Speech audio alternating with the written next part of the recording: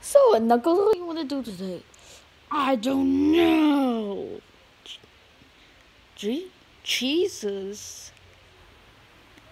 I said cheese. Oh, why have someone? Why are you so angry? I have anger issues. Why are you so angry? It's of your business.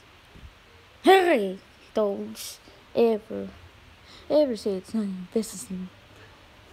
Strawberry cake.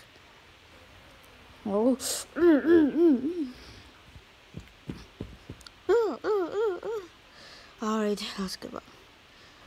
That's it, Knuckles. I need you to see a therapist. I'll go get him. I can't believe I have some anger issues.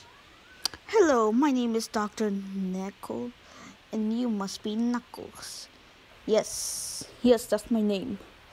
Hmm, I'm hearing you have some anger issues. You're darn right I, I have anger issues.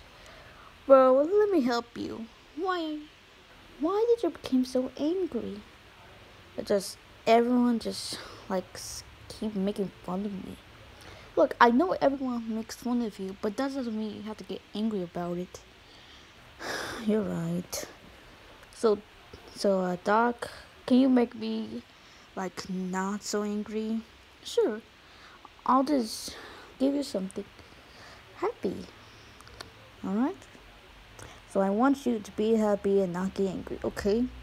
Okay, bye now. Okay, well, be nice and don't get angry. Bye now. You're right. I do. I do want to get happy.